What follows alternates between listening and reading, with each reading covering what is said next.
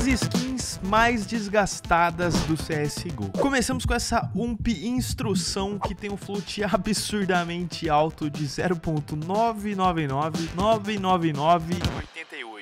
Essa shotgun aqui também tá na lista entre as skins mais desgastadas do CS e aparentemente esse é o float máximo que dá para ser gerado matematicamente aí pelo algoritmo do CSGO, que são 6 9 seguidos de 2 8 0 7 9 0 7 1. Existem 8 skins que já foram dropadas no CSGO com esse mesmo float e possivelmente, a não ser que seja trocado o algoritmo que faz o cálculo do float das skins, esse daqui vai ser o máximo, vai ser o limite, que já é bem alto, bem desgastado, são 6 9 depois do ponto. Nenhuma dessas 8 skins que chegaram no float máximo foram criadas por contrato de troca. E acreditem, essas skins aqui valem uma nota, porque os colecionadores que procuram por skins com float máximo dão um overpay gigante para conseguir essas skins top 1 mais desgaste do mundo. Eu sinceramente achei essa R8 aqui a mais irada de todas. Então essas foram as skins mais desgastadas do CSGO. Deixa um like se você quer um vídeo sobre as skins com menor float do nosso CS e a gente se vê na próxima.